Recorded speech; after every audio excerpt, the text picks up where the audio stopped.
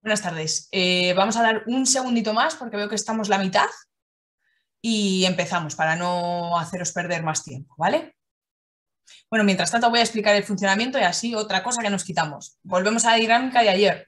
Chat para participar en vivo, eh, preguntas y respuestas por si en algún momento eh, tenéis, una pregunta que no es, no es inmediata, de respuesta inmediata, no es necesaria, o queréis preguntar sobre cualquier tema, pues la ponemos por el botón de preguntas y respuestas. Si es algo con respecto de la explicación en ese momento, os habéis perdido o, cualquier parte práctica que no enganchéis muy bien, pues la podéis por el chat y yo os, os doy la voz. Acordaros de seleccionar en enviar a, pues poner a todos y así también todos os leen y así es más dinámico. Acabo de enviaros también un email con la presentación del día de hoy y también unos enlaces que nos ha facilitado Eduardo para que también es relacionado sobre los, los, temas que vamos a tratar hoy.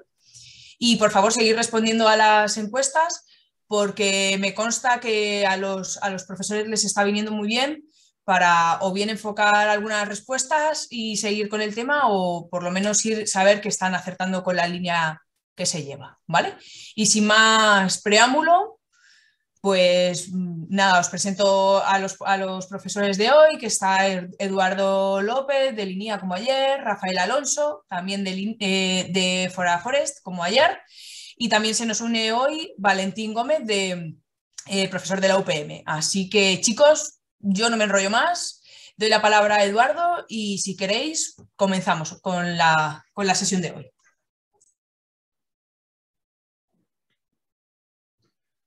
Hola, buenas tardes. Eh, un saludo a todos los participantes. Vamos a comenzar la, tercera sesión. Ayer en la segunda pudimos ver eh, sobre la descarga de la aplicación, sobre un poco las tripas, ¿no? en qué está programada, lo del núcleo de cálculo, los módulos de los que consta, se vio lo de las calculadoras y se hicieron los ejemplos eh, específicamente de las calculadoras climática y edáfica y un ejemplo de la combinada. Hoy nos vamos a empezar a centrar ya en los módulos que, dan sentido a, la aplicación realmente y vamos a empezar con el primero de ellos, que es el módulo de distribución de especies o el MDES. Voy a compartir ya la pantalla Perdóname, Eduardo, te voy a leer una pregunta del chat, aunque va dirigida a Rafael, pero bueno, para por si acaso, mientras tanto él quiere responder y no la ha visto, eh, nos pregunta Alberto que si le podemos facilitar em, desde la que decir desde la de dónde de la EMED eh, se ha descargado los datos climáticos CSV porque ha estado rebuscando y no ha dado con ellos. Lo dejo ahí en el aire, perdona que te haya cortado y así ya no, no te interrumpo más. Cuando proceda, pues le ponemos ahí cualquier cosilla y... no, hay problema, de hecho puedo intentar responder parte de lo que sé de esos datos, de cómo los hemos conseguido nosotros al menos. Eh, al menos nosotros como organismo público de investigación tenemos un convenio y nos, los pueden ceder. Hay que hacer, hay un formulario de petición y hay todo un catálogo de datos disponibles eh, y, bueno, a nosotros nos los proporcionaron. Sé que también suministran datos a particulares o a empresas, pero ya tienen tarifas y tienen colgado al mismo tiempo que el formulario, tienen también unas tarifas en función del tipo de datos que se pidan. Por lo menos los que nosotros trabajábamos. Bueno, ya centrándonos un poco en la, tercera sesión y en el módulo que vamos a empezar, comparto la pantalla para iniciar a la sesión. Se ve ya la, Sí, perfecto. Perfecto. Bueno, pues vamos a ello.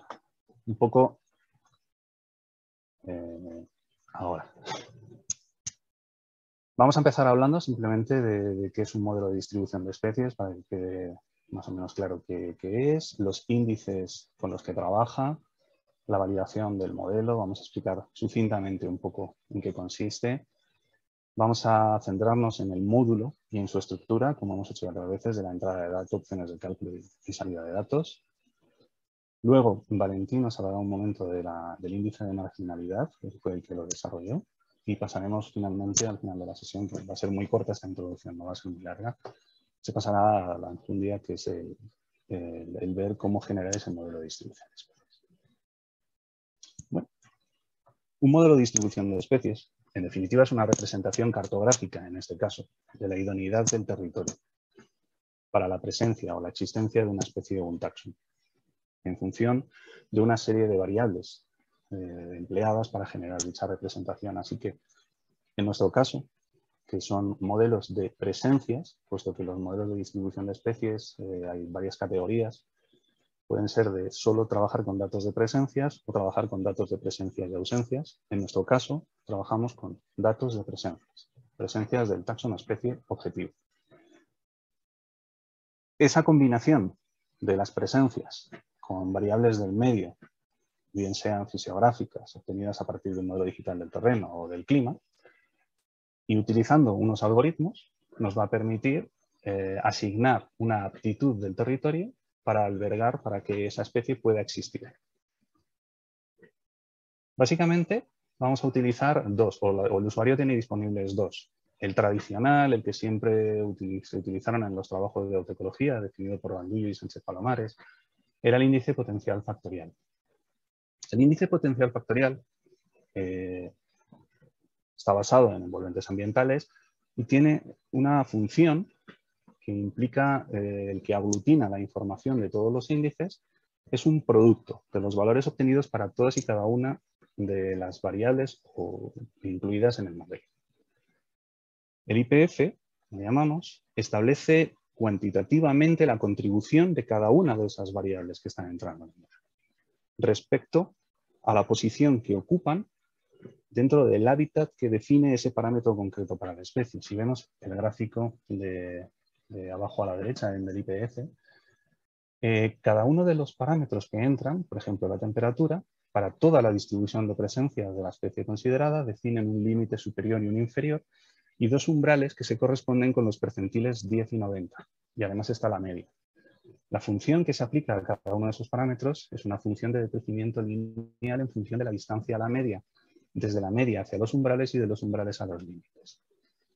Eso genera un índice de potencialidad y el producto de todos esos índices de potencialidad genera un índice de aptitud que es el que eh, nos va a permitir diferenciar o, asignar esa aptitud al territorio, a cada una de las celdas sobre las que vamos a volcar eh, el contenido.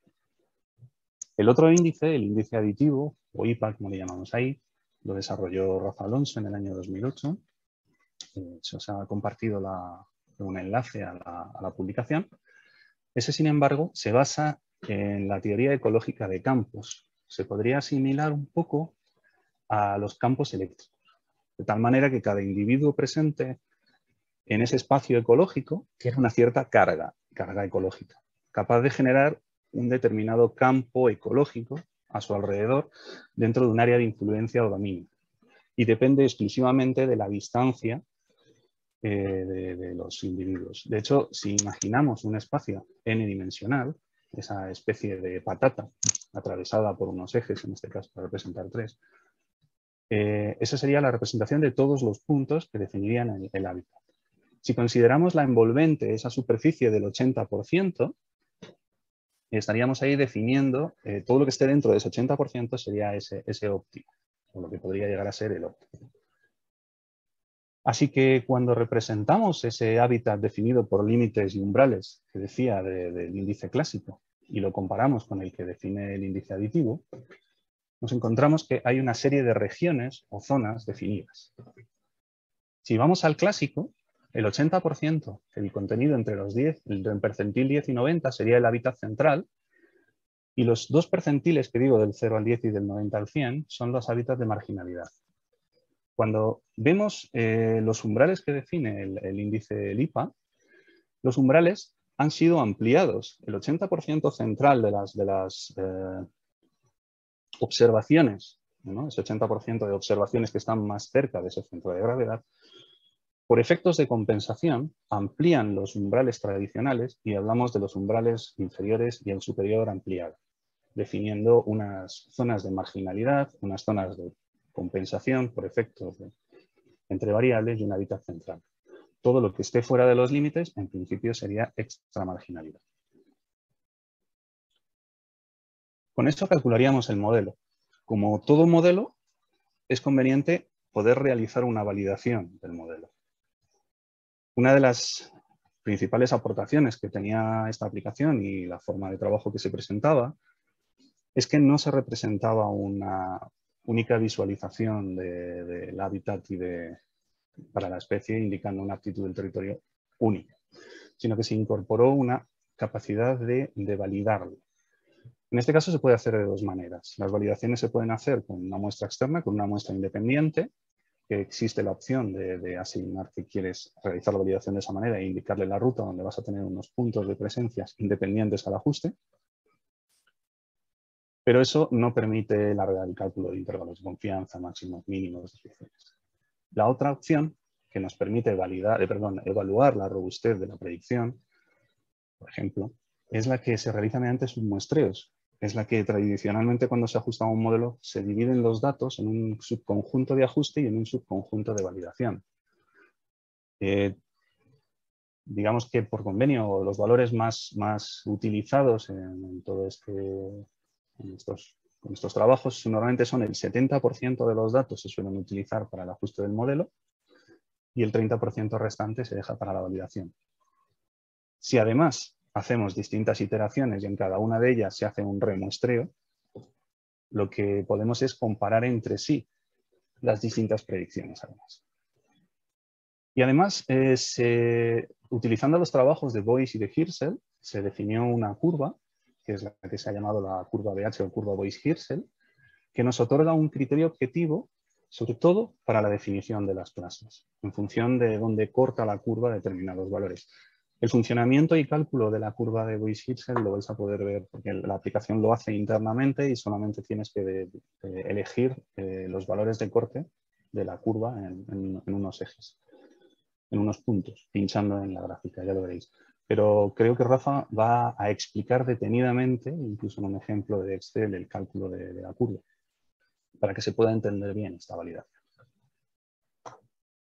Centrándonos en el módulo propiamente dicho, el módulo tiene tres subapartados, que serían básicamente la introducción de datos, las opciones de cálculo y las opciones de salida. En la introducción de datos, como siempre, indicar el acceso de dónde está el archivo de presencias. Tengamos en cuenta que las presencias son localizaciones geográficas con unas características climáticas, fisiográficas o edáficas en las que una especie determinada se encuentra en la actualidad.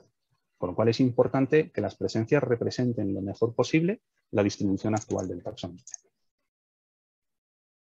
Entonces, el, archivo de entrada va a tener tres columnas. Va a tener un indicador y unas coordenadas X e Y. El usuario podría utilizar las variables que él quisiera, hasta el punto de llegar a incluir variables en exceso, que no es recomendable. Entonces, una de las recomendaciones que hay es utilizar variables definidas en el proyecto que, hizo la síntesis de los proyectos de autotopología. Si se utiliza esa, se selecciona eh, esa casilla, habría además que seleccionar la, especie sobre la que se va a trabajar y ahí indicaría, eh, y si se va a trabajar con variables climáticas o con variables climáticas y gráficas, indicaría qué variables habría que introducir para poder hacer ese, modelo de. Eh, lo siguiente es indicar dónde se, encuentra el directorio con las capas de información que quiere introducir el usuario o que ha de introducir si va a seguir las recomendadas. El programa lo que hace es leer y buscar cuántos archivos ASCII que tienen que cumplir los requisitos que se comentaron ayer, que dijo Rafael, que tengan igualdad en las cabeceras en cuanto a las dimensiones y al tamaño de la celda y que las celdas sean coincidentes, otra cosa es que la extensión sea distinta. Si la extensión es distinta, como dijo ayer Rafa, solo calculará donde sea la intersección, donde existe la intersección de los distintos rastros. Como decía, eh, cuando se selecciona la ruta donde están los rasters, eh, va a abrirse tantas casillas, tantas filas, como raster ASC identifique la aplicación que hay. Y lo que hay es que indicarle a cada una de ellas qué variable es. En el primer caso, en el ejemplo, por ejemplo, Madrid ETP, pues es indicarle en el desplegable que es la evapotranspiración y así sucesivamente. En el segundo subapartado del módulo, que serían las opciones de cálculo, aquí eh, lo importante obviamente es elegir el algoritmo con el que se quiere trabajar, el factorial o el aditivo. Hay una casilla que dice quitar duplicados. Eso es para cuando en, en una misma celda de raster de una determinada dimensión coinciden varias observaciones para reducir la redundancia. Eh, se puede variar, el usuario puede variar ese 80% del hábitat óptimo o central, lo puede variar, no lo recomendamos. Recomendamos que se trabaje con ese 80% para que los trabajos sean comparables, un poco si se quiere, con los trabajos de autoecología previos. En el caso del índice aditivo, uno de los parámetros que incluye la función es un parámetro B, eh, eh, no vamos a entrar en detalle en ello porque la propia función, en uno de los enlaces que se han proporcionado, se tendría eh, todo el, cálculo y desarrollo de toda esa función de cálculo del A. Recomendamos no variarlo también por parte de los usuarios, pero existiría la opción. En los subapartados de validación y predicción.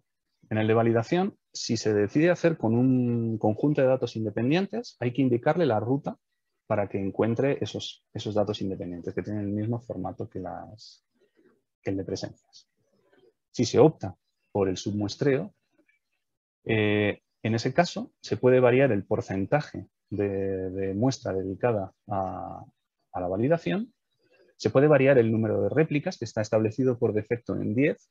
No se recomienda hacer grandes números de réplicas, porque entonces se puede sobrecargar el programa, sobre todo si la superficie sobre la que se va a calcular es muy Y los parámetros de eh, deslizamiento de la ventana de validación y el ancho de la ventana de validación, eso lo veréis con detalle en la, en la explicación que va a dar Rafa con el Excel, eh, para entender que es que es una especie de media móvil con una ventana que se va desplazando, entonces se puede variar ese ancho y el desplazamiento de la ventana. Respecto al apartado de la predicción, normalmente cuando realizamos un modelo de este tipo lo vamos a proyectar sobre el propio territorio en el que está la especie. Si tenemos la distribución del, del quejigo para la península ibérica, lo vamos a proyectar habitualmente sobre la propia península ibérica. Pero está la opción de proyectarlo en otro área. Eso a veces cobra sentido. Por ejemplo, eh, me ocurre un ejemplo de, especies exóticas invasoras. Utilizar el hábitat definido por la especie en su origen y proyectarlo sobre un territorio potencialmente eh, que puede invadir potencialmente. En el último subapartado del módulo eh, son las opciones de salida de datos. Aquí, como siempre, se va a indicar el directorio donde van a, guardarse las salidas y el nombre de la carpeta que queremos que nos ponga a la, salida de resultados. Aquí tenemos una serie de, de salidas por defecto. Por defecto genera eh, cinco capas raster de idoneidad. Genera la de la media, la de la desviación típica, el máximo y mínimo de los valores y el coeficiente de variación. Va a generar eh, capas también de los índices de marginalidad que va a explicar ahora Valentín, generaría uno global de, datos climáticos si existiesen, de datos edáficos si existiesen, un índice global de marginalidad y un índice de, marginalidad por cada variable introducida. En el caso de disponer de los datos, también generaría una salida de las calidades de estación y aparte también genera un informe, resumen de los resultados y de la validación de la curva de Weiss Si se desea, puede incluirse también eh, por defecto, perdón, están eh, activados los histogramas de las variables que se introducen en el, cálculo del modelo y los diagramas de distribución. También se pueden generar los, todos los raster, eh, los archivos raster intermedios. En el caso de muchas réplicas o de tamaños grandes no es recomendable porque ralentiza mucho el programa, pero bueno, depende de la potencia. Insisto que todo esto lo vais a ver ahora en el ejemplo con más detalle, pero así por lo menos ya va sonando para cuando lo vaya contando Rafa ahora. Ahora a continuación, Valentín, por favor, hablarías del índice de marginalidad. Muchas gracias. Gracias, Eduardo.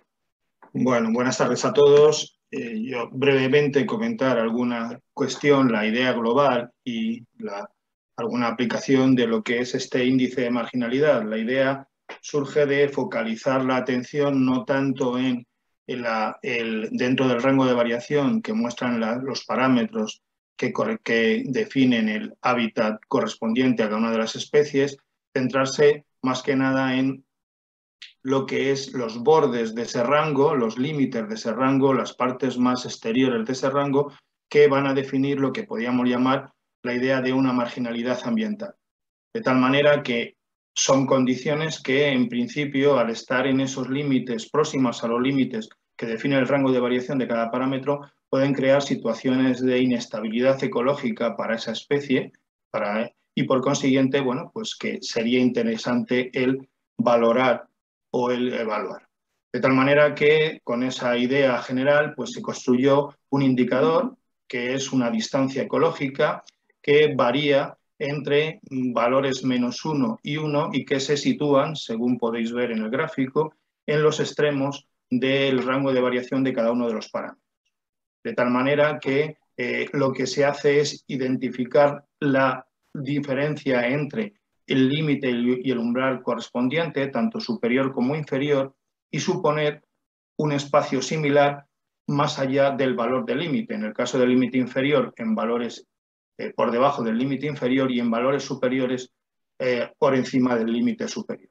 De tal manera que, dando, eh, considerando un modelo de variación que tenga en cuenta que según nos aproximemos a los valores de los límites, pues la variabilidad en la marginalidad se incrementa notablemente y según nos vayamos alejando va disminuyendo, la función varía entonces entre los valores menos 1 y 1, de tal manera que valores por debajo de menos 1 indicarían que en esa localización el valor del parámetro está por debajo de un valor que sea compatible con la presencia de la especie y entonces a partir de ese valor, si va subiendo, eh, a partir de ese punto, si va subiendo el valor, va a ir incrementándose la probabilidad de presencia de esa especie y por consiguiente reduciéndose la marginalidad, de tal manera que el indicador se hace cero entre los umbrales inferior y superior y vuelve a, empieza a subir por eh, empieza a tomar valores positivos para los valores superan el umbral superior hasta llegar al valor 1. De tal manera que es un indicador monótono creciente o decreciente que como eh, depende del intervalo entre los límites y umbrales en cada uno de los extremos, no es simétrico, es asimétrico, y que está estandarizado a esos valores 0 y 1 como es un indicador por cada una de los eh, eh, parámetros que componen el modelo, pues entonces es un indicador que permite que sea tener un comportamiento aditivo y considerando entonces grupos de especies, digo grupos de variables, perdón, que tienen similares métricas y que tienen una explicación ecológica, una trascendencia ecológica eh, altamente relacionada, altamente correlacionada, podemos establecer extrayendo valores máximos de esos grupos de especies, un indicador global que nos puede dar idea de cuál es el grado de marginalidad de aspectos como el régimen térmico, el régimen pluviométrico, eh, la disponibilidad hídrica, etcétera, e integrarlos de manera en sumatorio y construir un indicador de marginalidad climática global.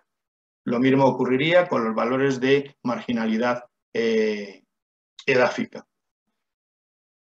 de cara, una vez obtenidos los valores, ¿cómo se pueden clasificar o cómo se pueden calificar esos valores? Pues esos valores se pueden calificar, en, por favor Eduardo, la siguiente, en una tabla aproximada donde valores por encima de 1 pues indican marginalidad extrema, incompatible con la presencia de la especie. Si están valores en valor absoluto, tanto positivos como negativos, que superan 0,8, pues eso también implica que hay unas limitaciones ecológicas respecto de lo que pueda suponer, lo que represente ese, ese parámetro respecto de la respuesta ecológica de la especie, que pueden ser limitaciones muy graves para la presencia de la especie. Entre 8 y 0, eh, perdón, ahí hay un error, no es 8, es 0,8 y 0,5, la marginalidad sería notable y ya eso implicaría que hay posibilidades importantes de inestabilidad para la especie. Por debajo de 0,5 hasta 0,2 una marginalidad moderada, de 0,2 a 0 ligera, puede alterar de manera muy débil el desarrollo óptimo de la especie. Y, eh, como hemos comentado, si toma valor 0, pues quiere decir que no podemos considerar que ese, esa especie tenga marginalidad. Digo, ese parámetro genere marginalidad en la presencia de la especie. Esto es una metodología que se ha ido comprobando en determinados trabajos y que ha ido dando muy buenos resultados, unos resultados que son bastante esperanzadores. De tal manera que, por ejemplo, os voy a presentar dos resultados, dos trabajos. El siguiente, la siguiente diapositiva muestra lo que es la aplicación de esta eh, metodología para la, para la identificación de condiciones de inestabilidad en masas de pino carrasco en la comunidad valenciana. De tal manera que allí se hizo un trabajo donde se identificaron 10 eh, localizaciones que tenían problemas de inestabilidad de pino carrasco y en localizaciones suficientemente próximas se establecieron dos puntos de muestreo, uno sin indicios de decaimiento y otros con claros indicios, con unas tasas de mortalidad elevada, para que estaban suficientemente próximas para garantizar que las condiciones generales de edad, tratamiento, eh, condiciones de desarrollo iniciales eran suficientemente homogéneas y que lo que podía variar eran aspectos relativos a la variabilidad a pequeña escala, variabilidad básicamente de carácter edad. De tal manera que en ese sentido lo que se vio es que algunas de ellas respecto del clima tenían un comportamiento mayoritariamente, no algunas de ellas, mayoritariamente, pues que no había diferencias entre las localizaciones sin decaimiento y con decaimiento, pero algunas, como el caso de Orihuela en Murcia, pues o otras localizaciones también en, perdón, en Alicante y, y, otra localización de Alicante tenían un claro comportamiento eh, de marginalidad muy elevada respecto de las parcelas que mostraban indicios de decaimiento. Es decir, aquí pues estábamos en una zona de casi de un dominio semiárido o subárido. En cuanto a la marginalidad gráfica obtuvo mejores resultados y mostró una mayor variabilidad, pero si fijáis, todas quedan en esta parte eh, superior eh, izquierda del gráfico que indican que los valores de las localizaciones que mostraban indicios de decaimiento, todos tenían mayores valores de marginalidad edáfica en algunos de los aspectos considerados, de tal manera que el indicador permitía diferenciar ese grado en función de ciertos atributos de carácter edáfico, permitía identificar qué variables eran las que estaban fuera de lo que eh, podía ser considerado como adecuado, óptimo para el desarrollo de la especie. Y eso pues hubiera, es, una, información que es muy de utilidad de cara a posibles intervenciones, bien de restauración de la vegetación, bien incluso de gestión de tratamiento de esas masas. Recientemente, pues desde la Junta de Castilla y León, de la Universidad de Valladolid, pues se pusieron en contacto para hacer un estudio de eh, la posible adaptación a cambio climático en la comunidad de Castilla y León. Y eh, bueno, pues a mí se me eh, dio la posibilidad de probar esta metodología a la hora de hacer una proyección de cara al futuro de cómo podría ser el comportamiento de las principales especies forestales. En ese sentido, tenéis ahí los resultados de eh, un eh, trabajo de aplicación de este índice indicador de marginalidad a la totalidad del territorio de Castilla y León eh, para solo dos variables, que es la variable temperatura media anual y precipitación media anual. Y se han hecho proyecciones de futuro a partir de los datos aportados por la Agencia Estatal de Meteorología en el, proyecto Ensembles y eh, para periodos que van del año 2000 al 2039, periodos que van, esto implicaría un periodo a corto plazo, por así decirlo, a medio plazo entre el 2000 y el 2069 y a largo plazo entre el 2000 y el 2099. Se ha procedido a hacer toda la caracterización de la totalidad del territorio. Esto no muestra en ningún caso ni áreas potenciales ni ni posibilidades, ni indicador de distribución actual de la especie, sino lo que muestra es en qué sentido va a cambiar eh, las condiciones de marginalidad ante posible, la posible instalación de pino silvestre en ese territorio. En, a corto plazo ya había una zona, la zona central, que era incompatible con la presencia de la especie y se va a mantener e incluso se va a ir incrementando y determinadas zonas de la periferia, las zonas que tienen una mayor cota, pues la especie va a ser eh, desplazada o va a ir teniendo que ocupar las cotas más altas del territorio de Castilla y León eh, si se cumplen las previsiones de la proyección realizada por el proyecto Ensembles a la hora de estas variables de, mm, eh, climatológicas básicas como son la precipitación y la temperatura. Es otro ejemplo de aplicación de lo que puede aportar este indicador a, los estudios de, este tipo. Y por mi parte, eh, nada más. queda a vuestra disposición si tenéis alguna pregunta, pero ahora pasará eh, Eduardo y Rafael a, explicaros el, ejemplo práctico. Buenas tardes a todos, muchas gracias. Celebro comprobar que, que hay una concurrencia eh, notable, como la de ayer, un pelín más baja, pero eh, lo cual demuestra que la turra de tablas y formatos de archivos, etcétera, con la que castigué al respetable en el día de ayer no ha hecho mella, así que eh, vamos a una segunda sesión y espero que hoy también la podamos superar con brío. Como ya nos han explicado Eduardo y Valentín, eh, hoy vamos a hacer un ejemplo de modelo de, distribución de especies. Bueno, vamos a hacer más de un ejemplo, varios ejemplos, pero vamos a utilizar este módulo para eh, evaluar cómo funciona la, máquina, el Model Forest, para eh, generar ese tipo de modelos ecológicos. Voy a compartir mi pantalla. Vale, creo que ya la estaréis viendo, estoy viendo mi explorador, ¿verdad? Sí. Archivos, perfecto. Bien, voy a pasar a la aplicación que ya abrí hace unos minutos.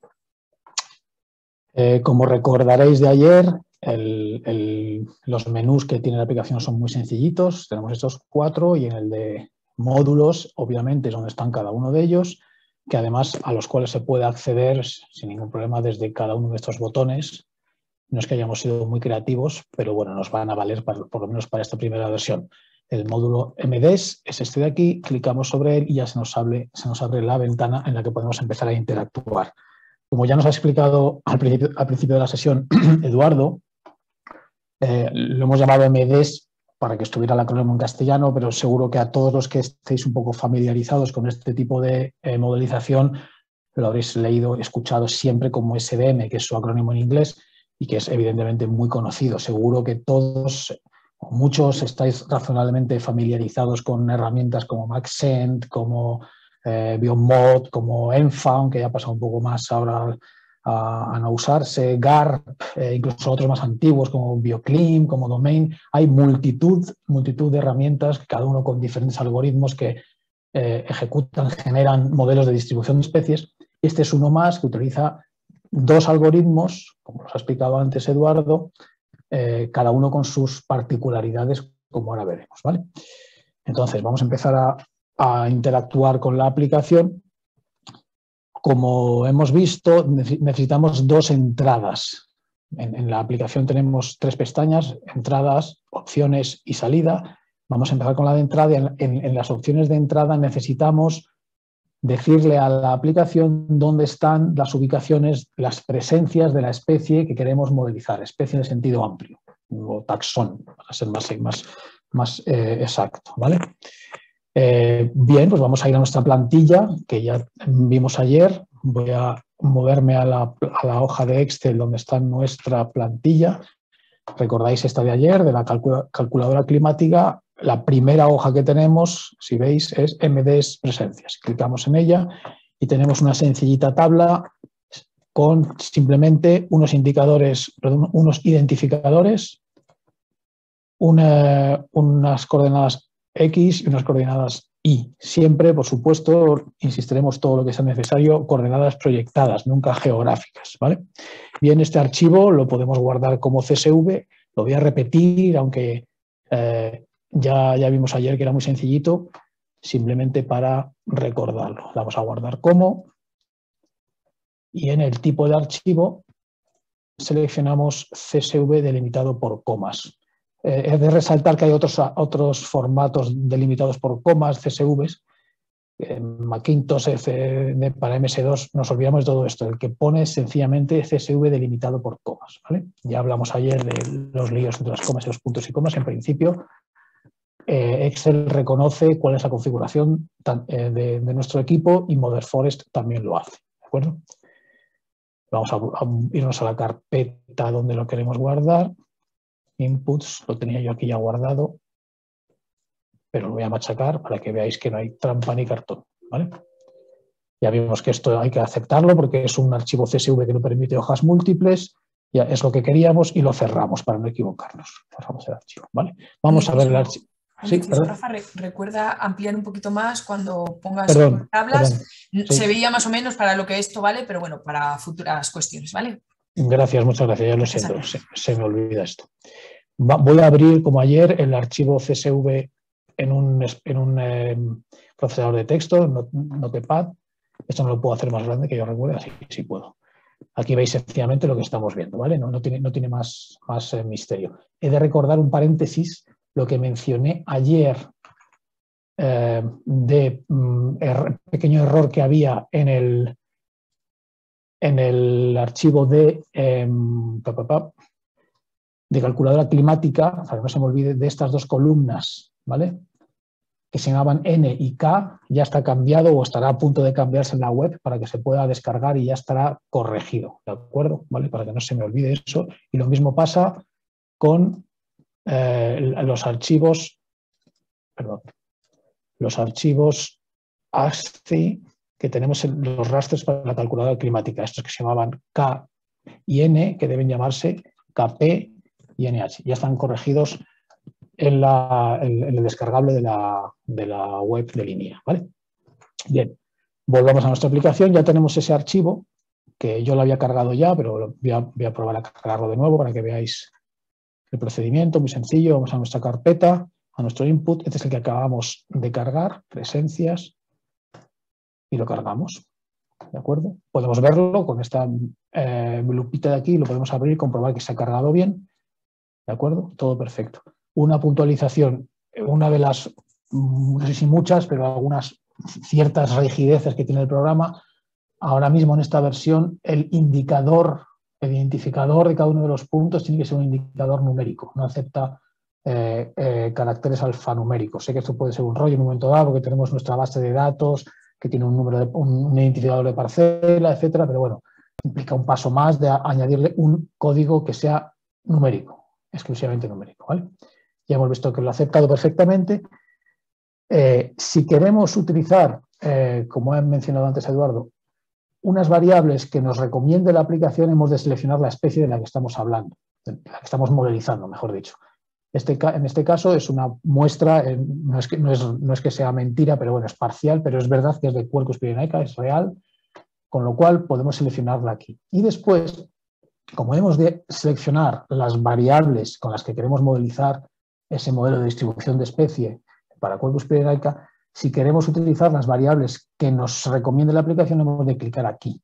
Entonces vemos que ya directamente nos pide unas eh, variables en concreto. Como siempre, no me cansaré de recordar que estas variables las podemos consultar en nuestro manual de usuario, donde están todas enumeradas con sus em, eh, definiciones, unidades, etcétera, etcétera. Bien, volvemos a la aplicación eh, en el caso de que utilicemos eh, variables recomendadas, tenemos dos opciones. Lo veis aquí, que pone solo variables climáticas o variables climáticas y edáficas. Somos conscientes de que eh, tener disponible en formato raster, es decir, en una cartografía continua, variables edáficas, ya lo estuvimos viendo ayer, también se habló de ello el lunes, es realmente difícil e incluso una irrealidad, por lo menos a día de hoy pero hemos querido mantener la opción en el caso de que alguien, por la razón que sea, o lo está generando o está probando que se puedan utilizar variables gráficas de las que pide aquí para la especie. ¿vale? Evidentemente os dais cuenta que cambian, no, quiere decir que estas, a estas cuatro variables climáticas se le añadan variables edáficas, sino que puede cambiar. Esto, como también avanzó antes Eduardo, es fruto de los trabajos de autoecología, de los análisis de multivariantes de, los, del, espectro ecológico de cada una de las especies y se han seleccionado las, las variables más relevantes que mejor pueden definir el, el, eh, el, nicho ecológico de la especie. ¿De acuerdo? Bien, nosotros no vamos a utilizar las variables recomendadas, ¿vale? sino que para hacerlo, para que sea más liviano, no tener tantas variables, y vamos a utilizar las que nosotros queramos. ¿Cómo hacemos para decirle qué variables queremos? Pues seleccionamos aquí una carpeta en las que estén los archivos ASCII. ¿vale? Va a utilizar todos los archivos ASC que encuentre dentro de la carpeta, con lo cual si no queremos alguno de ellos hay que sacarlo de esa carpeta o cambiarle la extensión, como queráis. ¿Vale? Entonces, pues nada, buscamos nuestra carpeta, tenemos rasters MDs, aquí es donde las tengo y ahora os voy a enseñar cuáles son estas. ¿vale? Está cargándolos ahora mismo. veis que ya nos ha, nos ha identificado perfectamente los tres ASCs que tengo en la carpeta. Vale, ahora os enseño. Y hay que, hay que decirle qué variable es cada una de estas, porque él no puede saberlo, el programa no puede saberlo. Evidentemente, si nosotros nos equivocamos aquí al, al eh, señalar qué variable es, el, programa va a funcionar bien, el resultado va a estar bien, simplemente que los resultados, el informe que va a salir, etcétera, van a tener cambiado el acrónimo y nos, vamos a hacer un lío, con lo cual, bueno, simplemente tener cuidado y decir que esto es la ETP, decir que esto es la precipitación total y decir que esto es la temperatura media, ¿vale? Por supuesto, aquí podemos, eh, perdón, aquí me he equivocado y me avisa de que tengo duplicado el, mm, tengo duplicado el, el acrónimo, ¿vale? Ya los tengo los tres identificados, pero por supuesto puedo meter variables que no sean ninguna de estas. Aquí tenemos una opción de other, de otro, ya veis, siguen saliendo, las, los voy viendo a la vez que os lo cuento, siguen saliendo mezclas a veces de inglés y castellano en la aplicación, son cosas que queremos corregir en versiones posteriores. Si clicamos en other, entonces podemos aquí decirle que esto es pues el número de pájaros o lo que sea, podemos poner lo que queramos, ¿de acuerdo? Pero bueno, este no es el caso. De hecho, un inciso para desengrasar un poco, ha habido modelizadores de ese tipo de, técnicas que han publicado eh, artículos en los que se han hecho modelizaciones, por ejemplo, para definir el área de distribución del botijo, eso lo han hecho investigadores españoles, o también se hizo en otra ocasión, que lo tengo por aquí buscado, se hizo una modelización de cuál era la distribución del, del Bigfoot, del Yeti, en, Estados Unidos a partir de presencias supuestas de, eh, em, de, excursionistas que supuestamente veían al Yeti. Esto está publicado en el Journal of Biogeography, no es, nada no es ninguna revista de, de poca monta. Entre otras cosas porque venía el, argumento de los autores era cuidado, se puede modelizar cualquier cosa que tenga sentido. Y además, también, esto era interesante, venía a, la conclusión, a llegar a la conclusión de que el modelo de distribución del Yeti era bastante solapado, estaba bastante solapado con el de ursos americanos, con lo cual era probable que lo que veía la gente en realidad era un oso, no un Yeti. Bien, ya tenemos nuestras variables, vamos a verlas, voy a pasar a, mi pantalla de GIS, de SIG, mejor dicho, los tengo aquí cargados para que los veáis. Hoy vamos a trabajar al principio de la sesión en la Comunidad de Madrid. He cargado estos tres rasters, los, tres, los mismos que acabo de cargar en, en Mother Forest y pues nada, pues un, raster de un kilómetro de resolución en el que están las variables que acabamos de subir, la ETP, según Weight, la precipitación total y la temperatura media. ¿Vale? Con una rampita de que se vea bien. Esto es lo que hemos subido, ¿vale? Volvemos a nuestra pantalla de Mother Forest ya tenemos nuestros inputs, ahora vamos a ir a eh, las opciones de modelización. Eh, un inciso que se me olvidaba, si aquí clicáramos otra especie, que también podemos, por supuesto, decirle que es otra especie, de momento no nos permite escribir cuál, ¿vale? simplemente saldría otra, y le pidiéramos que nos recomendara variables, nos va a decir que no puede, ¿vale? Aquí y me dice, ops, no tenemos, y aquí vuelve a salir un mensaje en inglés, ¿vale? No es el caso, Así que vamos a desclicar y a poner Quercus Pyreneca. Vale. Bien, vamos a pasar a la, pestaña de opciones de modelo. ¿vale? Como hemos visto antes, muy rápidamente nos ha explicado los dos algoritmos que están incluidos aquí, el índice aditivo y el índice factorial. Eh, he de decir que estos acrónimos vienen, eh, una vez más mezclado el inglés con el castellano, es índice, perdón, este está en castellano, está bien, perdón, índice de potencialidad aditivo, índice de potencialidad factorial. Eh, lo de potencialidad es un término que se viene utilizando desde hace muchísimo tiempo en, estos trabajos de autoecología, pero ha dado lugar en ciertos ámbitos, en ciertas ocasiones, a confusión, a, digamos, a que mezclar el concepto de, potencialidad ecológica, de capacidad de un territorio para albergar a un taxón, confundirlo con la productividad. Entonces, por eso últimamente preferimos, aunque se ha quedado con el acrónimo, preferimos llamarlo idoneidad o aptitud, algo parecido. Y también nos oiréis hablar en un sentido un poco laxo, ya nos perdonaréis eh, los ecólogos o los estadísticos, de llamarlo a veces la probabilidad de existencia de una especie. No es una probabilidad, pero a veces puede entenderse, puede interpretarse como tal, aparte de que eh, esos valores, eh, esos índices varían entre 0 y 1, y es fácil para interpretar los resultados imaginárselo como una probabilidad acuerdo? Rafael, Oh, eh, sí. nos pregunta Alejandro, ¿Sí? eh, eh, perdón, Alberto, que si estos datos raster los tenemos, los tenéis para poderlos o se pueden descargar. Nosotros no podemos proporcionarlos realmente. Estos son datos que ha, que ha generado el AEMET y que ha cedido a eh, con fines de investigación. Eh, no sé cuál es la política ahora mismo de la AEMET. Eh, no sé si hay alguien en la audiencia que sea de la AEMET o alguien que esté escuchándonos que sea de la AEMET, porque la política en cuanto a liberación de datos no ha sido siempre la misma. Eh, estaría bien investigarlo, yo ahora mismo no puedo responderlo, no sé si algún otro de, algún, alguien de la audiencia puede hacerlo, no sé si ahora mismo estos rasters están disponibles. Y digo estos rasters, no me refiero en concreto a esto que estamos viendo aquí, por ejemplo, de, de la ETP, la precipitación total, la temperatura media, esos no nos los ha proporcionado la EMET, porque son eh, rasters derivados de la información bruta, entre comillas, que son rasters de precipitaciones, temperaturas mensuales, lo que veíamos ayer, que, calcula, que metíamos como input en la calculadora climática para obtener eh, parámetros, que son estos, ¿vale? Algunos son triviales, como la temperatura media, se hace la media de los 12 rasters mensuales, la precipitación, precipitación total es la suma, es, la ETP ya no es tan trivial y otros, ¿de acuerdo? Estos son derivados, es decir, se han generado en el INIA, ¿vale? Indicar que Eduardo está colgando algún enlace, ¿vale? Para, pues como complemento de lo que estás comentando. Muchas Y gracias, nada más, pregunta también otra persona que, que de dónde se pueden descargar eh, da- eh, eh, datos de presencia de especies. Y bueno, pues entiendo que sigue un poquito la dinámica de la EMET. Si alguien se anima a darnos una respuesta porque lo sepa, pues que levante la mano, le activo el micro y pues estaremos deseosos de conocerlo. Eh, Eduardo está poniendo varios enlaces, he visto ahí del, para GBIF, que es una, una organización eh, que genera unas bases eh, de datos brutales, mundiales, de multitud de taxones.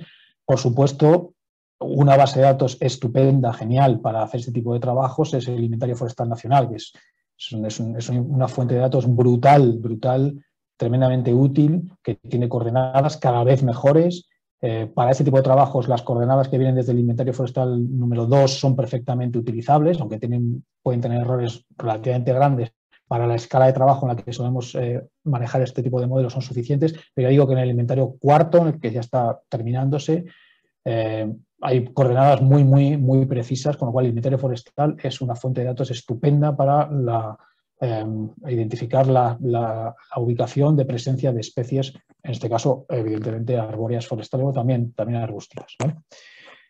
Bien. También hay una pregunta, perdona, y ya Sí, termino. sí, sí, no, no hay problema. Marta González pregunta que cuáles son las variables mínimas climáticas a incluir en este módulo, ETP, PT o TM. Eh, se, te pregunta por esa cantidad. se refiere, no sé si se refiere al ejemplo que estoy haciendo, estoy haciendo con esas variables porque el- para hacer un ejemplo, ¿vale? El qué variables meter es un tema peliagudo en ecología. El- los, los métodos que se, que se eh, manejan en Model Forest, sobre todo IPA, el- el algoritmo IPA, trata de lidiar lo mejor posible con las fuertes correlaciones que hay entre muchas de las variables ecológicas. A veces son eh, brutales las correlaciones que hay, como, es fácil imaginar. Eh, el IPF maneja mejor, eh, peor este, este, este aspecto. Pero en cualquier caso, un, un, análisis previo muy útil, que se suele hacer, no lo hacemos nosotros, hace todo el mundo que trabaja en este tipo de modelización, es hacer, por ejemplo, un análisis factorial o un análisis de componentes principales previo de todas las variables que se tengan para identificar aquellas que recogen o digamos que representan de mejor manera a toda la variabilidad del espectro ecológico. Pero no hay un valor, no hay eh, un número mínimo. Evidentemente, meter solo una variable tiene bastante poco sentido, entre las cosas, porque te vas a dejar al- algún aspecto clave del- del nicho ecológico sin modelizar. Si metes precipitación, no estás metiendo régimen térmico. Si no metes eh, eh, oscilación térmica, no, si metes oscilación térmica, no metes el régimen pluviométrico, etcétera. Entonces, siempre es bueno que al menos hay una variable del régimen hídrico, otra del térmico, otra del pluviométrico y, por supuesto, si hubiera datos edáficos, también de los aspectos edáficos. Eh, esto ya, ya hemos dicho en repetidas ocasiones que es complicado tenerlo a escala territorial. ¿vale? Eh, bien, vamos a continuar con las opciones de modelo. Estamos hablando de que teníamos dos algoritmos que vamos a probar primero con el índice eh, aditivo, que como decía antes, son, los índices se comportan diferente en distintos aspectos y además necesitan distintos parámetros para su, para su modelización. Eliminar duplicados, ya lo ha explicado Eduardo lo que es. Se recomienda tenerlos siempre activado para evitar eh, eh, sobre información, redundante, cuando tienes dos puntos dentro de la misma celda del raster, que recordemos que en este caso estamos trabajando un kilómetro, que es una resolución más que buena para una escala de trabajo regional o nacional, pues evidentemente estás eh, repitiendo información exactamente igual, es idéntica y no, no, no, no añade valor al modelo que estemos generando. El percentil del hábitat central, que no es otra cosa, se puede interpretar también como una media robusta. Estos, este tipo de algoritmos, los dos, eh, están trabajando con medias robustas, lo que en estadística se llaman medias robustas o estadísticos robustos. ¿vale? Eliminan, no eliminan, sino que quitan eh, mm, peso a las observaciones más alejadas de la, de la centralidad de la distribución de, de la muestra. ¿vale? Y por último, este, este parámetro B, que también nos ha mencionado Eduardo, mejor no tocarlo, pero evidentemente lo dejamos a disposición de los usuarios por si quiere investigar, si quiere trastear, si quiere eh, poner a prueba la aplicación. Nosotros, si se está trabajando para publicar, para hacer trabajos operativos, trabajos publicables, mejor no tocarlo, pero si se quiere probar a cambiarlo para ver cómo funciona, nosotros agradecemos que se haga para ver si puede fallar, para ver si puede dar problemas, ¿de acuerdo? Eh, ¿Cómo, cómo funciona este parámetro B? Está, creo, publicado además en, abierto en la revista Forest Systems y creo que incluso está en castellano, porque esta, esta aplicación tiene más años que la orilla del río, yo creo. Es muy, muy antiguo. Esto está, está seguro en, castellano, casi con total seguridad. ¿vale? Después pasamos a la validación, que como ha dicho Eduardo, es algo clave en, en cualquier tipo de modelización, no solo en esto, cualquier tipo de modelización. Podemos tener unos resultados de un modelo súper bonito, que da el mapa estupendo, pero si estamos haciendo una cosa que la podríamos haber generado por azar, pues tiene bastante poco valor. Eh, las dos formas de validar el modelo pueden ser por un set de datos independiente, con lo cual ya no podemos devolver intervalos, ni máximos, ni mínimos, ni desviación estándar. Damos la opción porque es algo que se hace a menudo y porque también tiene un gran valor testar un modelo con una muestra que no tenga nada que ver con la que se ha utilizado para modelizar pero tiene ese inconveniente. ¿vale? Nosotros vamos a utilizar el caso de la submuestra para que veáis toda la potencia que puede tener y para ello utilizamos fundamentalmente la eh, curva de Boyce-Hirschel que ha mencionado antes Eduardo. Y os voy a explicar ahora en, qué consiste esta, esta, curva porque es fundamental entender bien cómo funciona y cómo se calcula porque hay un momento, como ahora veremos dentro de unos minutos, en el proceso de modelización en el cual hay que interaccionar con el programa. Hay que entender bien cómo funciona. Vale. Nosotros, eh, voy a pasar al SIG, voy a enseñaros un modelo que ya he hecho, ¿vale? Para que veáis cómo funciona. Tenemos unas presencias, en este caso de Quercus pirinaica, como habíamos visto en la Comunidad de Madrid, y tenemos, imaginemos que hemos generado este modelo de predicción, ¿vale? Los verdes es alta probabilidad o aptitud, y los marrones baja probabilidad o nula. Como vemos, un buen modelo, un modelo que esté prediciendo razonablemente bien la distribución de la especie, como este que estamos viendo, es fácilmente entendible que va a asignar, es decir, va a predecir valores altos de probabilidad, valores altos de aptitud, donde sí está la especie. Veis que los puntos negros están en general en, en, zonas blancas, verdes, algunos en marrón, pero en general la mayoría están en zonas verdes, zonas con alta aptitud. ¿vale? Esto es lo esperable de un buen modelo. ¿Qué ocurriría si fuera un mal modelo? Pues que tendríamos algo parecido a esto. Es decir, una cosa aleatoria completamente, con lo cual tendríamos eh, valores de aptitud que estarían en todo el espectro del valor de, que puede tomar el, índice, que es de 0 a 1. ¿De acuerdo? Este es el, planteamiento. Entonces, eh, la curva de Boyce-Hirschel lo que hace es decir, muy bien, si nuestro modelo predice bien, quiere decir que en cada eh, tramo de nuestro valor de índice, imaginemos que este es el famoso API que acabamos de ver, que va desde 0 hasta 1, y si no lo está, lo normalizamos para que vaya desde 0 hasta 1, vamos a ver cuántos puntos de los que nosotros hemos utilizado como presencias, ¿vale? Cuántos de estos negros tienen un valor de potencialidad según mi modelo que esté en cada uno de los tramos que voy a definir ahora de este eje que va desde 0 a 1. Es decir, voy a coger el, el anotador para dibujar. Imaginémonos que definimos una ventana de 0 hasta 5, aquí. Vamos a ver cuántos puntos de nuestra muestra, de la que hemos utilizado para modelizar, tienen un índice de aptitud según el modelo entre 0, entre 0 y 0,05. ¿vale? Pues entonces es tan sencillo como, vaya, no me deja ratón. Es tan sencillo como asignar el, valor de aptitud según nuestro modelo, que son estos de aquí. Esta muestra no es la misma que estáis viendo en el SIG, ¿vale? Pero se daría igual, porque es que tengo mucho más puntos, tengo ciento y pico. Asignamos el valor de probabilidad, el valor de aptitud a cada uno de nuestros puntos y vamos viendo en cada una de estas, de estas ventanas, que, de estas ventanitas sobre el eje que tenemos aquí, cuántos puntos caen dentro de esa ventana. Y después cogemos esa ventana y la movemos otro poquito hacia la derecha. ¿Cuánto lo movemos? Pues lo movemos a, lo que le hayamos dicho en el desplazamiento, que es el valor que aparece, a moverme a la Model Forest, es este valor de aquí. Ventana móvil de validación, ventana de validación, el ancho y el desplazamiento. Con lo cual, lo que hay que hacer es repetir ese cálculo, mover esta ventanita, voy a escribir de nuevo, Tenemos una ventanita aquí, calculamos. Borramos esta ventanita, calculamos. Se va esa ventanita, calculamos. Y así lo hacemos todas las veces hasta llegar a la última ventanita, que si tenemos un ancho de ventana de 0,05, pues irá desde 0,95 hasta 1. ¿vale? Y calculamos todos esos valores, que es lo que tenemos en esta columna de aquí, en Predicte. Es decir, el porcentaje de todos los valores hemos asignado nuestros puntos de presencia que caen en cada una de esas ventanitas.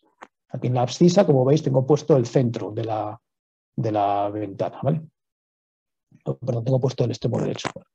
Y se va moviendo 0,02, que es el desplazamiento que he puesto. Y calculo el porcentaje. ¿vale? Esto es lo que nuestro modelo está prediciendo en cada una de esas ventanas. Bien, ¿qué ocurriría si el modelo fuera un modelo al azar? Lo hubiéramos hecho a voleo, como, el, como el, esa especie de, de que hemos visto aquí. ¿vale? Este de aquí. ¿Qué ocurría en ese caso? Pues que si lo asignáramos por azar, el número de hipotéticas presencias que caerían en esta ventanita que va desde 0, desde 0 hasta 0,05 sería el número de celdas que nosotros hemos predicho que tiene una potencialidad de 0, entre 0 y 0,05. Y lo mismo ocurriría con la siguiente ventanita, la que vaya de 0,02 hasta 0,07. ¿Cuántas celdas tengo dentro de esa ventana que tenga un valor asignado según un modelo de entre 0,02 y 0,07, pues ese número de celdas dividido por el total de celdas de mi territorio modelizado es el porcentaje de celdas que por azar podría asignar yo a, eh, a, unas presencias que cayeran dentro de esas celdas, podría asignarle yo ese valor de aptitud, ese valor del índice API. Eso lo hacemos con todas las ventanitas hasta llegar al final, hasta el valor 1, y después ¿Cuál es el planteamiento? Si nuestro, nuestro modelo funciona mejor que uno hecho al azar, que un modelo aleatorio, el cociente entre el valor predicho y el valor esperado por azar tiene que ser mayor de 1. Siempre que supere esa, esa, esa, esa, ordenada, perdón, esa ordenada, ese cociente, que es lo que tenemos en, la, en ordenadas, en, el eje aquí, siempre que supere el valor 1, entonces que nuestro modelo está funcionando mejor que un modelo hecho al azar, un modelo, malo, ¿de acuerdo? Así es como funciona la, curva de Boyce-Hirst. Además, como tenemos la opción en nuestro Model Forest de repetir esto las veces que queramos, y volvernos locos obviamente, podemos generar esta curva muchas veces, calcular la media y por supuesto calcular un intervalo de confianza, ¿vale? que por defecto lo hacemos con el 95%, con un 5% de nivel de significancia. ¿vale? Para que evidentemente no sean todas las curvas iguales, tenemos que partirla en una muestra de, entrenamiento y una muestra de validación. ¿vale? Lo habitual es poner el 30%, pero eso se puede modificar aquí sin ningún problema. ¿vale? Ya por último, eh, este, esta casilla, perdón, penúltimo, esta casilla que tenemos aquí de semilla aleatoria lo que sirve es para, si queremos hacer una modelización y repetirla exactamente igual, es decir, que parta la muestra en su muestra de, entrenamiento y su muestra de validación exactamente igual, ponemos siempre la semilla igual. Si mantenemos, si yo siempre dejo cero aquí, siempre me hará la, la siguiente vez, mañana, pasado, cuando sea, me hará siempre con la misma muestra, la misma partición. Si no queremos que sea así, pues basta con modificar y poner un número entero aquí cualquiera que queramos y será diferente, ¿vale? Esto pues si queremos replicar por alguna manera, por alguna razón, la modelización que hicimos, ¿vale? Y ya por último, en, las opciones de modelo, está este, esta casilla de aquí, de área de predicción, como ya nos ha explicado Eduardo, eh, se la pasado por alto una cosilla. y también porque está, eh, el texto aquí es un poco confuso. Realmente el área de predicción se puede recibir tanto en el, se puede referir tanto a una área de predicción distinta en el espacio y en el tiempo. Es decir, si nosotros queremos modelizar la distribución de una especie con datos de hoy, con clima de hoy, pero luego proyectarla a un escenario que sea distinto, de distinto clima, tenemos que clicar aquí en otra e introducirle aquí las variables, las mismas que hayamos introducido, lógicamente, en el proceso de entrenamiento, en el proceso de modelización, meterlas aquí para ese nuevo escenario, ¿vale? Si es otro escenario territorial, pues meteremos, si es Madrid y lo queremos proyectar en Segovia, pues ponemos la ETP de Segovia, la presentación de Segovia, etcétera. Si, lo que queremos es que sea en el mismo sitio, pero con otro, pero que sea con otros modelos climáticos, una predicción de cambio climático, como nos ha enseñado Valentín, a, medio plazo, corto plazo, etcétera, meteríamos aquí estas variables. Ahora lo veremos, haremos un ejemplo. Ya por último, en las opciones de salida es tan sencillo como decirle dónde queremos guardar, directorio de salida, eh, carpeta, y le decimos cómo queremos que se llame, vamos a llamarlo eh, Madrid, por ejemplo. Esto ya nos ha explicado Eduardo lo que significa. Eh, no voy a generar los ficheros rastres intermedios porque ahora no, no los vamos a ver. Eso solamente tiene sentido cuando queremos por alguna razón vemos que una réplica tiene resultados muy raros, inexplicables, pues podemos generar los, eh, los rastros intermedios, dejar aquí la misma semilla aleatoria siempre y podemos ver qué pasa con esa, con esa réplica, ¿de acuerdo? No voy a tocar ninguno de esos parámetros, se pueden modificar obviamente y vamos a modelizarlo con esta situación, perdón, me falta mismo de la entrada, ¿vale? Está bien una vez que hemos terminado de poner todos los parámetros, repasarlo, ver que, ver que esto está bien, que el modelo tenemos los parámetros que queremos introducir las variables que queremos introducir, la especie, y ya estaría. Ya está listo para lanzar, le damos a ejecutar. ¿vale? Ya veis que en un momento dado nos va a pedir interactuar. Se a hacer las réplicas. Veis que es muy rápido.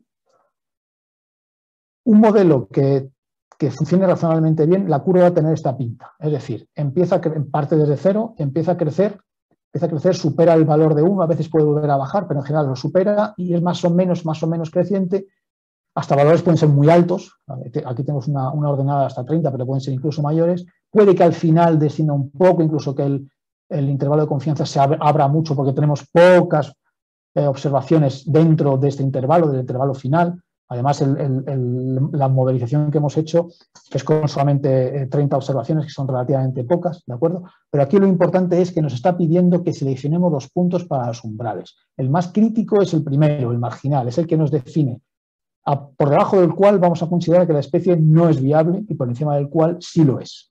Los otros dos nos sirven para establecer clases, es decir, clase óptima o clase adecuada, clase marginal, que son más o menos subjetivas, pero que nos sirven después para su representación cartográfica.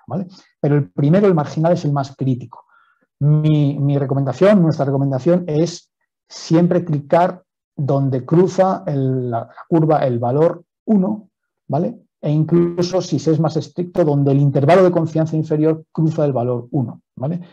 Eh, he de decir también aquí que, eh, continuando con el espíritu un poco vintage de esta aplicación, la forma de hacer zoom, se puede hacer zoom en esta, en gráfica, es un poco, eh, pues eso, ochentera.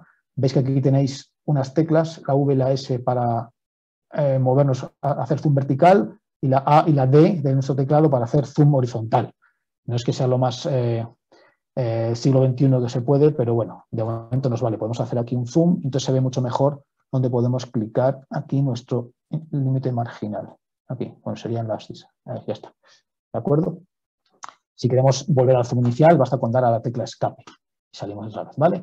Ahora queremos poner el, dónde estaría el, umbral de adecuado. Para ello, clicamos en adecuado y ahora vamos a clicar, esto ya es más subjetivo, insisto, podemos ver que en la curva crece rápidamente desde 1, luego se estabiliza, se mantiene razonablemente estable y luego vuelve a crecer. Bueno, puede ser, puede tener sentido que digamos que la zona adecuada empieza aquí y va a terminar razonablemente por aquí. Entonces ahí clicaremos en el caso de Loki, por ejemplo aquí. Esto es más subjetivo, insisto. ¿Vale? Y estos valores luego los recuperaremos donde hemos clicado. Ya estaría. Vamos a aceptar y termina en unos segundos. Está terminando, va al 97%, está escribiendo el informe en PDF, no dice que ha terminado. De nuevo en inglés. Muy bien, pues ya hemos terminado. Vamos a ver qué hemos obtenido. Voy a cambiar a mi explorador de archivos, que está aquí. Voy a ir a la jornada 3 a los outputs, ¿os acordáis que lo hemos llamado MAT? ¿Qué tenemos aquí? Pues un montón de información. Estos archivos en, formato PNG son imágenes que se, proporcionan separadas por si quieren utilizar en algún otro tipo de informe, pero están todas dentro de este PDF. Este PDF es el informe en el que nos dice qué tipo de modelización hemos hecho y cuál ha sido su validación. Vamos a abrirlo y veis lo que tenemos. Hace primero un resumen de los ficheros de salida que tenemos, es decir, lo que tenemos en la carpeta que acabamos de ver. Después nos dice qué parámetros hemos utilizado para nuestra modelización, qué módulo estamos, qué algoritmo hemos utilizado, si hemos eliminado duplicados, qué variables, etcétera, todos los parámetros que hemos introducido. Después nos hace eh, un resumen del hábitat de las variables que hemos introducido, en TP, precipitación y temperatura, pues el límite inferior, un inferior, todo esto está, el que significa todo esto con más exactitud está en las publicaciones que aparecen en, la, en, el manual. Rafael, nos hacen una observación. José Frutos, parece que se ha perdido un poquillo, dice, por favor, ¿podrías volver a explicar el razonamiento por el cual marcas en la gráfica el valor óptimo? Ah, vale, sí, sí, por supuesto. Eh, voy a ir a la gráfica, porque no puedo recuperar la gráfica que acabamos de ver, la tenemos aquí, ¿vale? El razonamiento es eh, que buscamos zonas de la, curva, ¿vale? Donde haya un, cambio de comportamiento, por así decirlo, ¿vale? Eh, en este caso, esto insisto en que es muy subjetivo, ¿eh? el, el, que es más objetivo es decir, cuando la curva supera el 1, es que está, es, significativamente mejor nuestro modelo que, el, un modelo aleatorio, un, modelo hecho por azar, con lo cual eso es bastante objetivo. A partir de ahí, yo, mi, interpretación aquí sería, la curva sube rápidamente y luego se estabiliza o no crece tan rápidamente. Bueno, pues el límite inferior para la zona adecuada sería más o menos por aquí. Y después aquí vuelve a crecer hacia arriba drásticamente, aunque luego vuelve a caer, es cierto, pero esto como os he indicado antes es probablemente, bueno, seguro, fruto de que tenemos muy pocas observaciones en, la última ventana. Entonces ya es, más inestable, ¿de acuerdo? Entonces he marcado aquí, podría haber marcado aquí, es relativamente subjetivo, insisto. Pero bueno, esto, insisto en que estos eh, puntos nos sirven para, sobre todo para crear clases para su representación cartográfica. No sé si con esto he, respondido razonablemente a la pregunta. Si tiene alguna cosa más, o lo indique en el chat, o le, que levante la mano y, le, y que intervenga directamente. De acuerdo. Muy bien, ya tenemos este, este resultado, que era el, hábitat para los tres parámetros, eh, eh, en este caso climáticos, que hemos utilizado. Si seguimos bajando, tenemos un resumen, porque clicamos en, su momento en, la última pestaña, la de opciones de salida, que nos diera los histogramas y los scatter plots, los, diagramas de dispersión, básicamente para tener una información razonable de qué variables estamos utilizando, cuál es su correlación, ves, ves qué correlación tan brutal, lógico, hay entre la ETP y la temperatura media, y aquí llegamos a la validación. Bien, estos puntos que tenemos aquí, estos valores que tenemos aquí, son el valor de nuestro índice aditivo de potencialidad, donde hemos clicado el valor de la abscisa en este, en este gráfico. Voy a hacer un poquito zoom out, aunque lo veáis un poco mejor para poder verlo a la vez. ¿Vale? Aquí hemos, esto es el valor 0,04 para el valor de API, porque aquí estamos viendo el valor de API, el valor de, la de aptitud, estamos viendo lo normalizado. ¿De acuerdo? Hemos dividido todos los valores de API de toda nuestra muestra lo hemos dividido por el mayor valor, que es el, que aparece aquí como valor normalizado, 0,51. Es tan sencillo como un cambio de escala para poder representarlo siempre entre 0 y 1, no es más que eso. ¿de acuerdo? Entonces, estos valores de aquí nos permiten después generar una, eh, una eh, escala, perdón, una eh, leyenda en nuestra cartografía para diferenciar las tres clases de, de, aptitud que vamos a definir. ¿vale? Estos valores por eso son importantes tenerlos claros. Después aparece la sensibilidad y el, el, estimador de Kolmogorov-Smirnov. ¿Qué significa esto? La sensibilidad realmente es un valor naif en sí mismo, al ser modelos que utilizan solamente datos de presencia. Porque como os podéis imaginar, si nosotros predijéramos un modelo que dijera que la especie que estamos modelizando puede vivir en cualquier sitio, tendríamos un 100% de sensibilidad. Es decir, todos los datos de, input de presencia que hemos eh, introducido tendrían valor, eh, según este modelo, mm, eh, positivo de que va a vivir ahí la especie. No vale para nada realmente eso.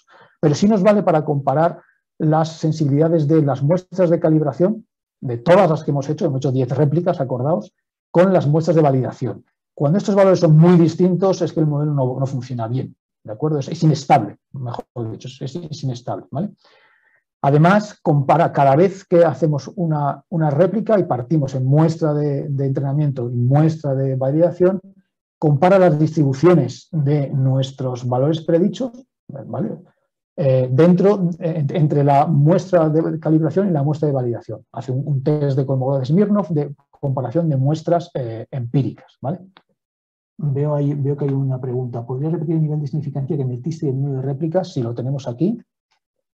Si está, está el informe aquí arriba. Veis que está puesto el número de réplicas 10, está aquí, y el nivel de significancia 0,05. ¿Vale? Y por último, eh, perdón, estaba aquí, nos dice, bueno, pues el valor medio del, estadístico de Kolmogorov-Smirnov, este es el crítico, y nos dice que las 10 réplicas superaron el test, es decir, las 10 réplicas, según el test de Kolmogorov-Smirnov, la muestra de calibración y la muestra de validación, la muestra predicha de, perdón, la muestra, sí, digo, la muestra predicha de la distribución de los valores eh, predichos del API son significativamente iguales, o mejor dicho, no podemos eh, decir que sean significativamente diferentes, siendo más estrictos. ¿vale? Y por último tenemos un gráfico de la desviación estándar para todas las eh, celdas que, hemos obtenido en nuestro gráfico, en nuestra predicción, como ahora veremos en el SIG. Normalmente un buen modelo tiene esta pinta. Tiene un gran número de celdas con una desviación estándar muy baja y un número más bajo puede tener, llegar a tener desviaciones muy altas, pero son muy poquitas celdas. ¿vale? Es el, el, informe, que es la clave realmente. ¿vale? Vamos a ver qué tenemos de outputs en formato raster. Veis que tenemos un montón de ellos, están ordenados según alfabéticamente y veis que el más importante quizás sea este, ¿vale? O el más importante, el que más llama la atención, es el modelo medio que hemos obtenido. Vamos a verlo en nuestro SIG, para que realmente ya lo habéis visto porque lo preparé ayer. Voy a cerrar esto y lo voy a añadir aquí. ¿Vale? Vamos a añadir este modelo medio, nuestra predicción. Como siempre, ya sabéis que los ASTI aquí no tienen, no tienen proyección, con lo cual hay que decirle cuál es. Es este. Nos sale esta, esta leyenda por defecto. Nosotros podríamos, ya, estamos viendo que el modelo no está mal. Veis que predice tiene valores claritos, a celdas claritas, valores altos del índice de aptitud, donde tenemos precisamente la especie. El modelo funciona razonablemente bien, como ya habíamos visto en nuestro informe. Y aquí podríamos decirle, esto es un trabajo ya de SIG, podríamos meterle los umbrales que hemos eh, encontrado y que, nos, hemos clicado nosotros en la gráfica y que nos ha devuelto el informe, ponerlos aquí en la leyenda. Cambiar el, estilo, vamos a ponerle una rampa que sea más bonita, la clasificamos, le quitamos este porque solo tenemos cuatro clases, contando nuestra marginal, y vamos a ver, voy a cambiar al, informe y veo cuáles serán estos valores, los podemos incluso copiar desde aquí podemos seleccionar desde aquí. Este es el umbral para la clase marginal, es decir, el umbral inferior para la clase marginal, con lo cual es el que tenemos que poner aquí. El siguiente, que es el de la clase adecuada, lo podemos poner, lo debemos poner aquí. Y el siguiente, que es el para la óptima, lo debemos poner aquí. ¿Vale? Y lo aplicamos. Y vemos que nos sale un modelo bastante decente. ¿vale? Esa es una forma de trabajar fácil para tener una cartografía mm, eh, que comunique bien el resultado que estamos obteniendo. ¿vale? Después tenemos, por supuesto, como ya mencionó antes Eduardo, el valor mínimo del API que hemos obtenido en cada celda, la desviación estándar, coeficiente de variación y el máximo. La desviación estándar nos puede dar una idea muy buena de dónde, está, dónde es más robusto, dónde es más estable nuestro modelo y dónde lo es menos. Como veis, tiene una desviación estándar más alta donde hay valores más altos, ¿vale? Pero si utilizamos el coeficiente de variación, que es este otro resultado, ya veis que el coeficiente de variación, es decir, el, cociente entre la desviación estándar y la media, ya no tiene eh, este aspecto que teníamos, es decir, que coincidía más o menos la desviación estándar y la media, sino que los coeficientes de variación altos generalmente los obtenemos en zonas donde la aptitud es muy baja, es decir, donde, no predecimos que la especie vaya a vivir. Ese es un modelo que funciona razonablemente bien. Es decir, donde donde el modelo vemos que funciona bien, perdón, donde el modelo vemos que predice la presencia de la especie, vamos a quitar el cero y así lo vemos mejor. Donde no predecimos, perdón, aquí vamos a poner transparente, el cero, es decir, lo extramarginal, ¿vale? Vemos que donde tenemos una buena presencia, una buena probabilidad de presencia de la especie, tenemos baja, bajo coeficiente de variación, es decir, es robusto nuestro modelo. ¿De acuerdo? Y por último, tenemos también los, mm, eh, los indicadores de marginalidad que nos ha explicado antes eh, Valentín. Para cada una de las tres variables, ETP, precipitación y temperatura, y luego agregados los climáticos, edáficos, que va a tener, no, va a tener eh, ningún valor, evidentemente, porque hemos utilizado variables eh, edáficas, y el total, que va, a coincidir con el climático. ¿vale? Entonces, si, introducimos aquí el, valor, el índice climático, indicador de marginal climático, vemos que tiene una baja marginalidad precisamente donde hay, alta potencialidad. ¿vale? Tenemos, es un modelo que funciona razonablemente bien.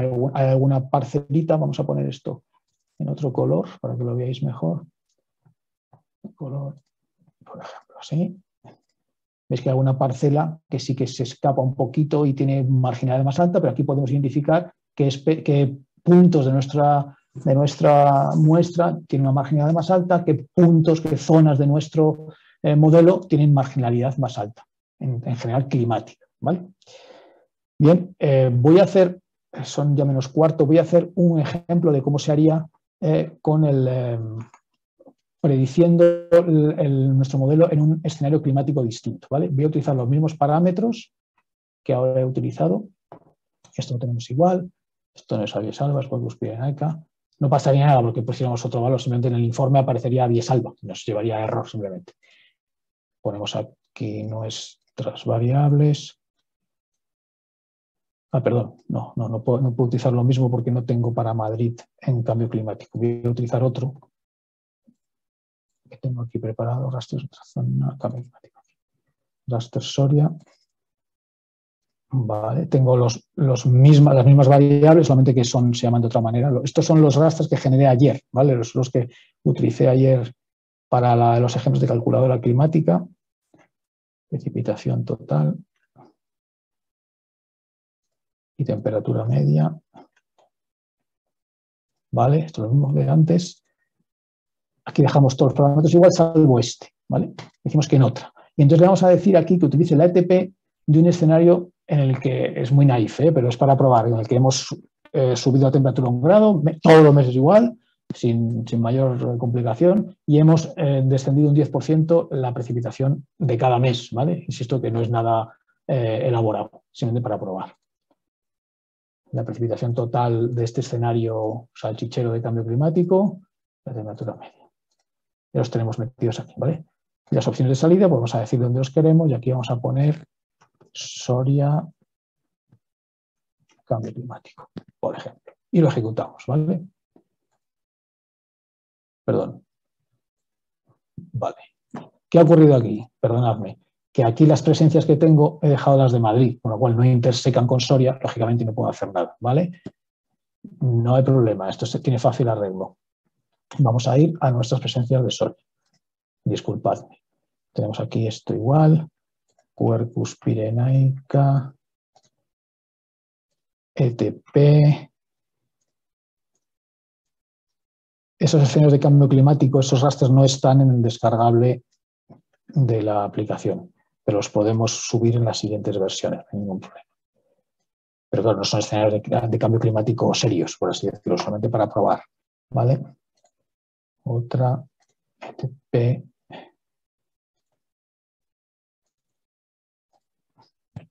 Abrir. Precipitación total. Temperatura media. Tenemos eh, salida, esto está igual, pues vamos. Y ahora ya sí que va, réplica 1, 2, tarda un poquito más porque tiene que hacer más cositas. 3, 4. Pero veis que es rápido. Vamos, quiero recordar, por ejemplo, hicimos un trabajo hace mucho en toda España, eh, con bastantes más variables, con bastantes más puntos de presencia. Lo habitual es unos pocos cientos, a lo mejor es una buena 100, 100, 200, es una buen tamaño. Y en una hora podía tener perfectamente 30 réplicas sin ningún problema. Bien, ya vemos que tenemos una curva un poco distinta, pero también tiene esa buena pita de que va creciendo, un poco más rara, pero va creciendo. Vamos a hacer un poco de zoom para marcar bien el, dónde está lo marginal. Más o menos ahí. Vale. El adecuado, bueno, pues insisto que aquí hay bastante, bastante subjetividad. Vamos a ponerlo por aquí, no tiene mayor importancia ahora mismo. Y aquí, venga, un poco a cholón, ¿eh? Ya está terminando.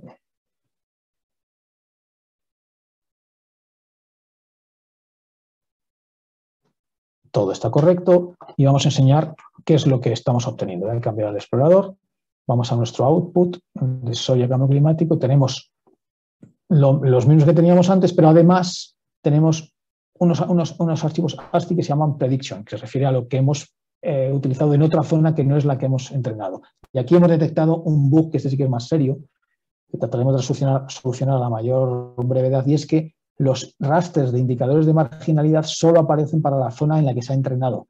No aparecen para ese, en este caso, zona eh, temporal distinta que sea un escenario de cambio climático. Esto lo vamos a intentar solucionar porque esto sí que es más serio, no poder tener esto, ¿vale?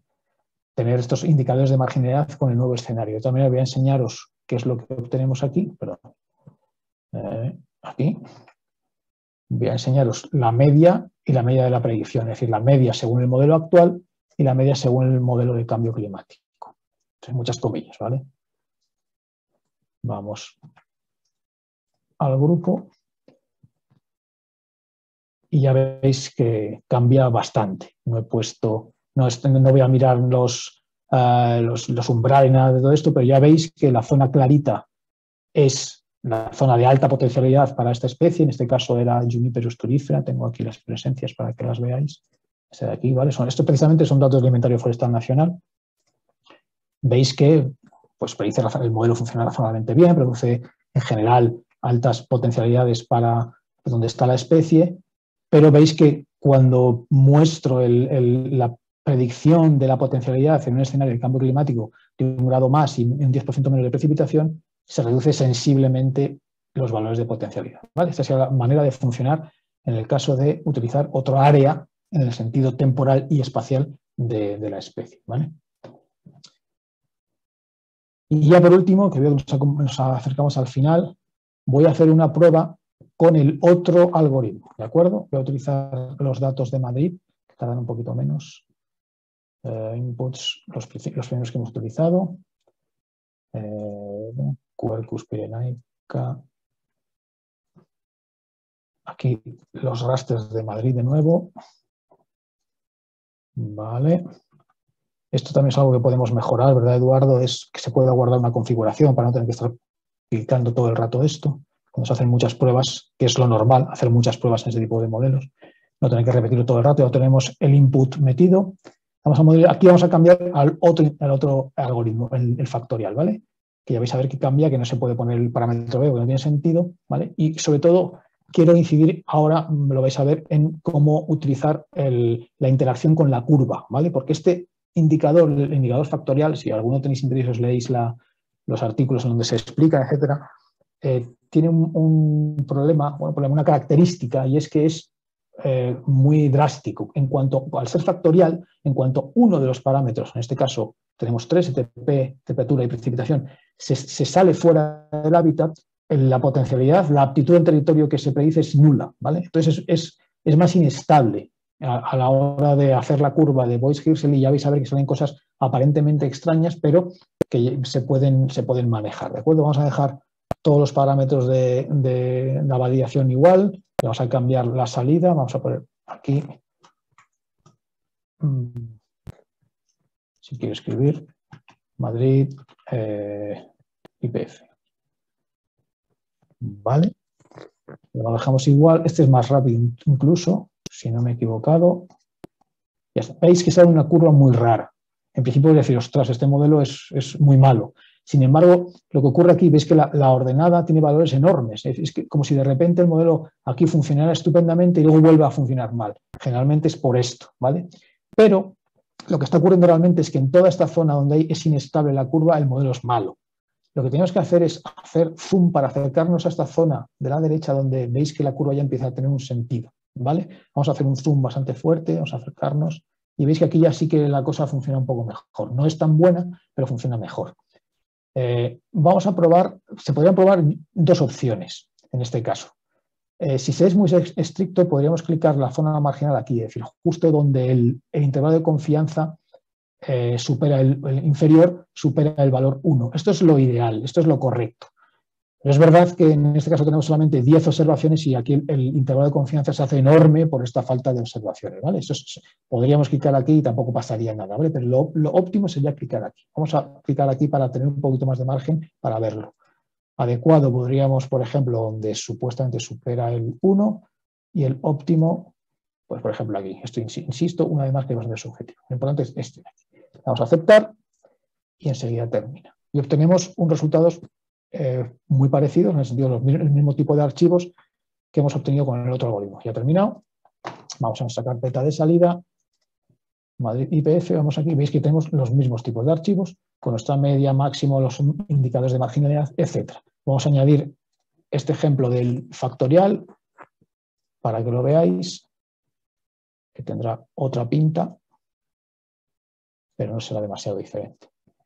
¿Vale? Perdona, Rafa. Eh, alguien se ha perdido un poco. ¿Sí? Preguntaba que cómo puede añadir más variables aparte de las tres iniciales que elegimos. Em, ha intentado Eduardo responderle, pero yo creo que quizá a lo mejor sea más sencillo si lo que tú le cuentas no, no le entiende bien, que le activemos el micro. Claro, sí. Realmente piensa que cuando seleccionamos las variables, lo único que hacemos aquí, veis que lo que dice la pregunta es selecciona el directorio donde almacena las variables ambientales, archivos ASC. Aquí lo que estamos seleccionando es una carpeta. Si esta carpeta, en este caso he seleccionado esta de aquí.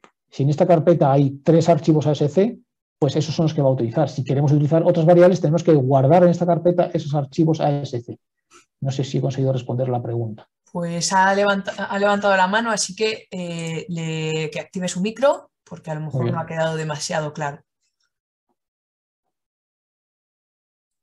Sí, o sea que entiendo que, mm, si, si en mi archivo tengo, o sea, en mi carpeta tengo siete archivos, eh, luego me van a aparecer siete casillas para meter las distintas variables, ¿correcto? Correcto, exactamente, es eso, exactamente. Vale, entendido, muchas gracias. De nada. Perdón, un simple apunte, una tontería. Respecto a la prueba que estaba haciendo María eh, en, el directorio de prueba, he borrado uno de los rastros.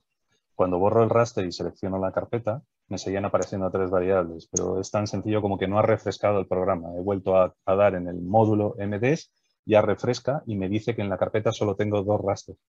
Como te decía y te ha dicho Rafa, identifica los rasters que hay en la carpeta y los considera las variables a introducir. vale, vale, ya entiendo. Es decir, que si yo ahora mismo tengo el módulo abierto e introduzco una, eh, un, archivo ASC más aquí, esto no se va a actualizar automáticamente. Tengo que volver a cerrar, irme a otro y, y, volver a abrirlo y entonces ya sí que aparecería refrescado, ¿vale? Es sencillamente eso, ¿de acuerdo? Vale, estábamos viendo el resultado, que ya estoy sobre la campana.